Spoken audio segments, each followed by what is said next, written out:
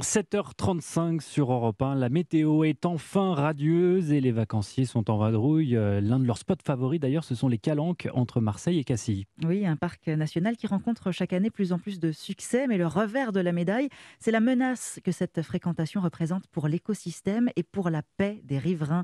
Plusieurs idées sont donc sur la table pour préserver le site. Le reportage de notre correspondant à Marseille, Stéphane Frangy.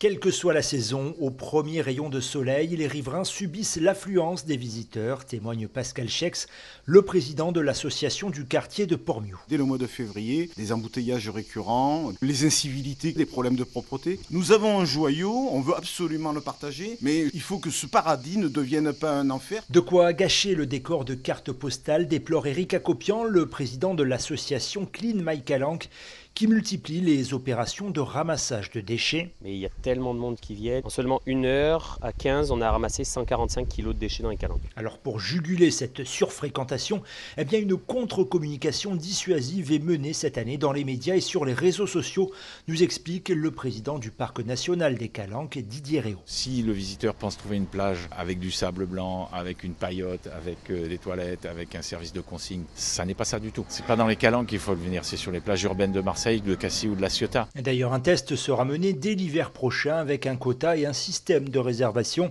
pour accéder à la calanque de Sugiton. Marseille, Stéphane Frangy, Europe.